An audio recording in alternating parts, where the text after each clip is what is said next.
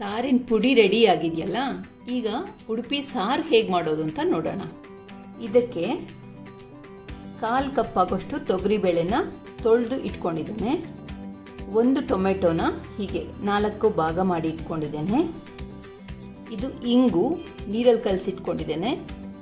ಇಂಗಿನ ಪುಡಿನೂ use ಮಾಡ್ಕೋಬೋದು. ಬೆಲ್ಲ, ಉಪ್ಪು ಹುಣಸೆ ಹಣ್ಣನ್ನು ನೀರಲ್ಲಿ ನೆನೆಸಿಟ್ಕೊಂಡಿದ್ದೇನೆ. ಇದು ಸ್ವಲ್ಪ ಎಣ್ಣೆ. ಸಾರಿನ ಪುಡಿ, ಒಗ್ಗರಣೆಗೆ ಸಾಸಿವೆ ಉದ್ದಿನಬೇಳೆ ಒಣಮೆಣಸು, ಸ್ವಲ್ಪ ಅರಿಶಿಣ, ಕರಿಬೇವು, ಕೊತ್ತಂಬರಿ ಸೊಪ್ಪು. ಮೊದಲು ತೊಗರಿಬೇಳೆನ ಕುಕ್ಕರ್ ಬಟ್ಲಿಗೆ ಹಾಕ್ಕೊಂಡ್ಬಿಟ್ಟು ಅದಕ್ಕೆ ಒಂದು ಲೋಟದಷ್ಟು ನೀರು ಹಾಕ್ತಾ ಇದ್ದೇನೆ. ಆಮೇಲೆ ಅರಿಶಿನ ಮತ್ತು ಒಂದು ಚಮಚ ಎಣ್ಣೆ. ಆಮೇಲೆ ಟೊಮೆಟೊ. ಇಷ್ಟನ್ನು ಪ್ರೆಷರ್ ಕುಕ್ ಮಾಡಬೇಕು. ನಾಲ್ಕರಿಂದ ಐದು ವಿಸಿಲ್ ಬಿಟ್ಟು ಚೆನ್ನಾಗಿ ಬೇಯಿಸ್ಕೋಬೇಕು. ಈಗ ಬೇಯಿಸಿರೋ ಬೇಳೆನ ಒಂದು ಪಾತ್ರೆಗೆ ಟ್ರಾನ್ಸ್ಫರ್ ಮಾಡಿಟ್ಕೊಂಡಿದ್ದೀನಿ. ಈಗ ಈ ಟೊಮೆಟೊನೆಲ್ಲ ತೆಗೆದುಬಿಟ್ಟು ಒಂದು ಪಾತ್ರೆಗೆ ಹಾಕುತ್ತಾ ಇದ್ದೇನೆ.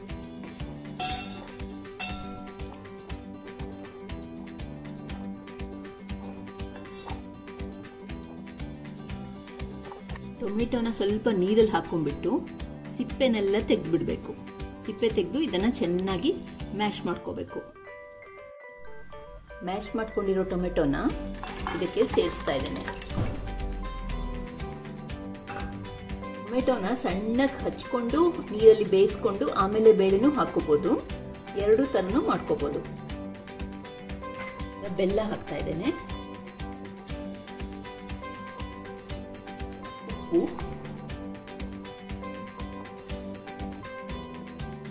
ಹುಣಸೆ ರಸ. ಇದನ್ನ ಎರಡು ಸಲ ಹಾಕೋಬೇಕು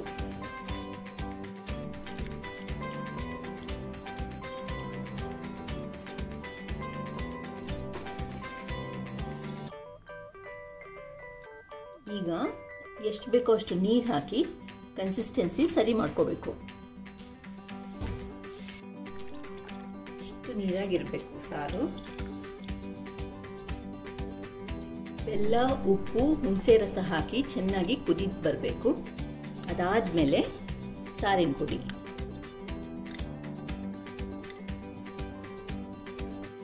ಚೆನ್ನಾಗಿ ಮಿಕ್ಸ್ ಮಾಡಿ ಒಂದು ಕುದಿ ಬಿಡಬೇಕು. ಈಗ ಒಳ್ಳೆ ಕುದಿ ಬರ್ತಾ ಇದೆ. ಇಂಗು ಕಲಸಿದ ನೀರನ್ನು ಹಾಕ್ತಾ ಇದ್ದೇನೆ. ಥರ ಮಾಡಿದರೆ ಇಂಗು ಒಳ್ಳೆ ಪರಿಮಳ ಬರುತ್ತೆ.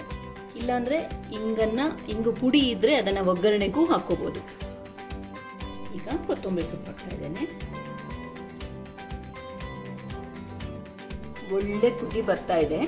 ಇಷ್ಟ ಆದ್ರೆ ಸಾಕು, ಗ್ಯಾಸ್ ಆಫ್ ಮಾಡ್ಬೋದು.